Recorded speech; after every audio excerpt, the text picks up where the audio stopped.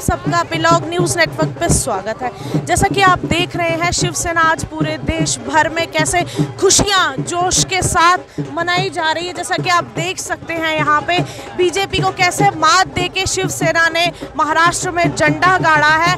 कैसे अपनी सरकार बनाएँगे, आइए हम बात करेंगे मनीष सानी जी से।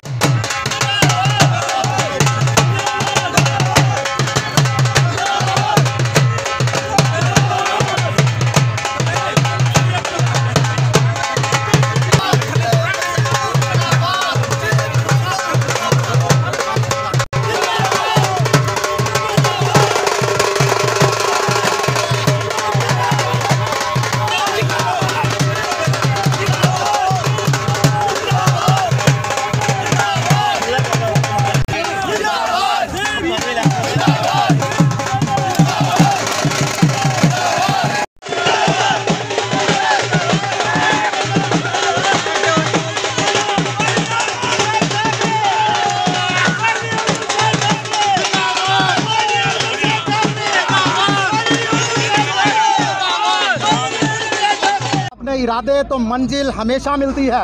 यही शिवसेना ने महाराष्ट्र के अंदर साबित करके दिखा दिया है।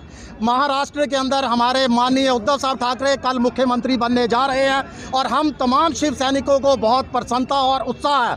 उसी को सेलिब्रेट करने के लिए आज सब यहाँ पर हम एकत्रित हुए हैं। हमारे शिवसेना के अंदर उद्धव, माननीय उद्धव साहब ठाकरे ने स्वर्गीय बाला साहब ठाकरे को ये वचन दिया था कि वह महाराष्ट्र के अंदर शिवसेना का मुख्यमंत्री बनाएँगे और अब वो वचन साकार होने जा रहा है। इस सकार होने के पीछे पूरा श्रेय गठबंधन घटक दलों के साथ साथ हमारे शिवसेना के हाई कमान के नेता माननीय संजय रावत साहब अनिल देसाई साहब अरविंद सावंत साहब एक नाथ शिंदे जी और तमाम विधायकों को जाता है जिन्होंने बीजेपी की तमाम चालों के बावजूद अपने हौसले बुलंद रखे और बीजेपी को चित कर कर दिखा दिया अब वह दिन दूर नहीं जहाँ महाराष्ट्र ही नहीं पूरे देश के अंदर शिव सैनिक बीजेपी के अगेंस्ट खड़े होंगे